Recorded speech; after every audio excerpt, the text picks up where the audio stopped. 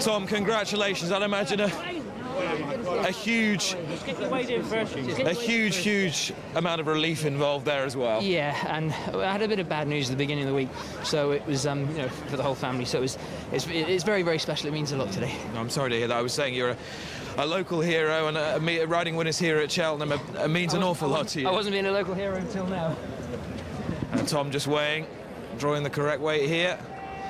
The scales read 10, 10, Okay, all okay. and he's all good. He's all weighed. Just, um, That's okay. just Tom, just talk, just talk us through the race. Uh, Was it all, was it always the plan to, to kick on and make every yard and make use of this horse's Um, speed? it was always the, the, the plan, as David always says here, just concentrate on getting a good start, jumping the first right, and the rest will follow. With a horse like Salut Flo, especially a lot of those French horses, it's all about rhythm. And as soon as I jumped the first fence, I knew I was going to be in for a very good ride because I was never able having to break that rhythm. Made one mistake at the top of the hill, but that's a tricky fence anyway.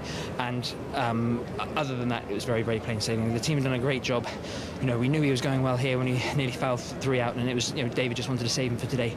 And my word, hasn't he got him right? Hasn't he just? Were you surprised as a two out that there really was nothing snapping at your heels in I just knew I'd keep on going, and if something came to me, something came to me. But all the way through, you know, every every jump we jumped, he just filled me with more and more confidence. And he's one of those horses, like a lot of them, you know, it's all very well, but when they're travelling like that, there's, you know, the less you do, the better. And with him, it was just, you know, the, the, the team had done all the hard work. David's done all the hard work. And what a training performance to get him here. You know, Yeah. he, he's basically had the best part of two years off. He's had one run in two years, and, and to come back and win a race at the festival like that was extraordinary. It's like the Pipe school of old, isn't it? They just keep on rolling. It's, and it's very, very special, as I said. You know, it, it been, up until now, it's been a tough week for many reasons, but tough uh, for, for more reasons than just racing. Yeah. So um, it's a great relief on that score, and it's just, you know, it's just, it's just tremendous. To ride a winner here is just absolutely extraordinary. And, and as you say, with other difficulties, it, it does sort of put, put things in, in perspective somewhat. It does, and it's um, no, it's just, it's just very, very special, and um, I'm proud of, of everybody down at Pond House, and um, everybody's chipped in with this, and it's, it's just great. I'm so happy. Well, we're absolutely thrilled for you. Richie deserve well done, Cheers, Tom. thank you, thank you, thank you.